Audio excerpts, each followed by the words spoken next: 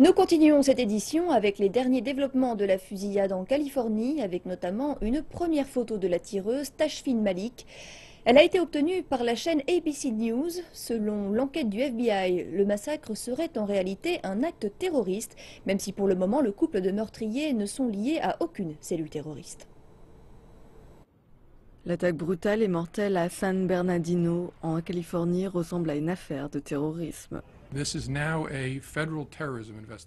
Il s'agit à présent d'une enquête fédérale sur le terrorisme par le FBI. L'enquête indique une radicalisation des tueurs et une potentielle source d'inspiration des organisations étrangères de terrorisme. Selon les représentants fédéraux, Tafin Malik, 27 ans, femme de l'équipe Marie-Femme, a tué 14 personnes dans un centre de services sociaux mercredi, prêtant allégeance au chef de l'État islamique sur Facebook au moment de l'attaque. En ce moment précis, les représentants pensent que Malik et son mari Sayed Farouk ne font pas partie d'une cellule terroriste. Ils pensent qu'ils se sont radicalisés tout seuls et qu'ils se sont inspirés d'organisations terroristes pour commettre des meurtres en masse. On a retrouvé des téléphones cassés dans la maison du couple à Redlands, ainsi que des armes, des munitions, des bombes et des outils pour fabriquer des bombes.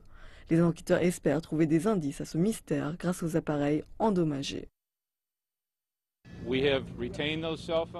Nous avons récupéré ces téléphones et nous continuons d'exploiter les données de ces téléphones.